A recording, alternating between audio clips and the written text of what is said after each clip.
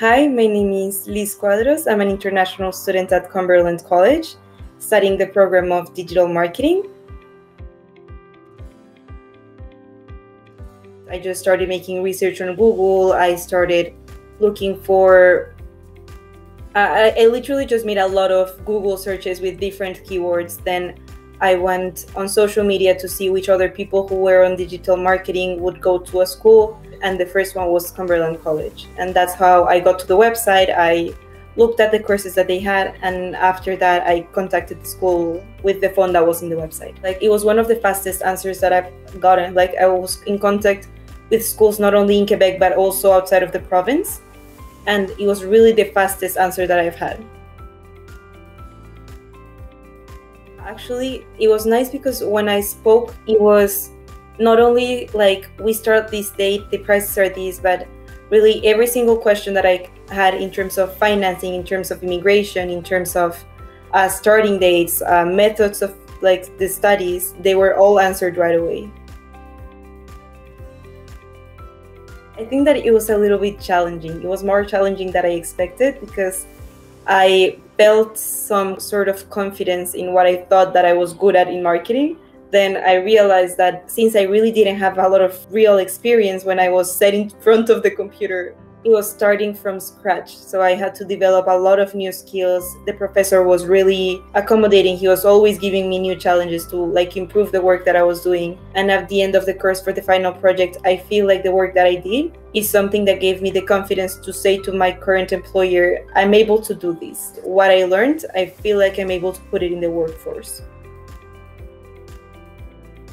he was always building towards what I had already built. There were a lot of projects in group. Since it was online i didn't get to really like see the faces of all of the people all the time. But even by the time of the exam or the projects there was always one or two people that i was constantly communicating with in terms of i am not understanding this subject. How do you think we could do this? Or how do you think the process the professor wants it? And then once we came together as classmates then we went to the professor. So it was really a good like class experience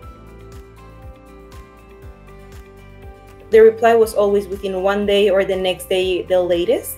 I did have some questions about like some certifications for not only immigration but in my home country. So all of that was quickly resolved.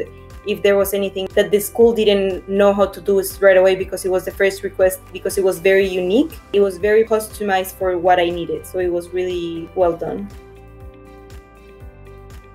I work as a hostess in a restaurant and then after a couple of months being in the front, the owner was always talking about how they would like to improve their digital presence and how they would like to have more information. And we just had like several conversations on what was my point of view in terms of that, what could have been better, like done better, how could we target the announcements, the vision that I had and the skills that I had with digital marketing. He gave me the opportunity to help him in the digital marketing side of things as well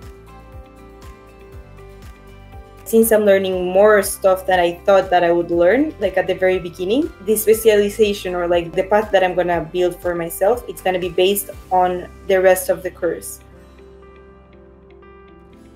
I knew that when I had the question about like how to make the agreement with my employer, I knew that I was able to come to you because the reply was always fast and was always well customized.